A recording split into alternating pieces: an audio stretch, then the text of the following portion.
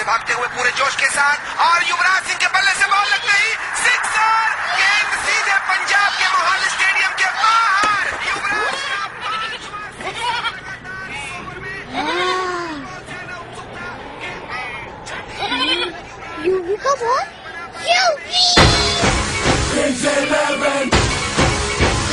Punjab